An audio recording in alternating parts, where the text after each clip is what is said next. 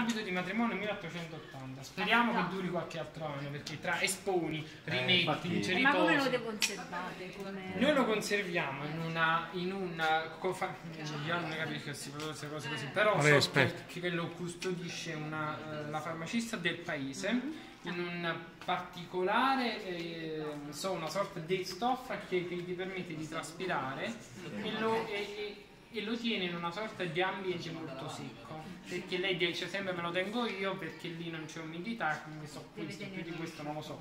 ma so, sì, perché è 1880 sicuro perché abbiamo fatto un'indagine anagrafica per scoprire quando la signora Vincenzina Capogrosso si sposò. Si sposò nel 1880. Nacque